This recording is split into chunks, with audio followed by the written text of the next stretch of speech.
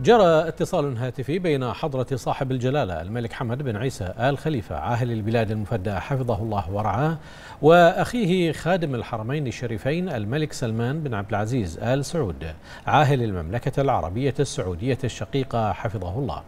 وتم خلال الاتصال الهاتفي تبادل التهاني والتبريكات بمناسبة حلول شهر رمضان المبارك.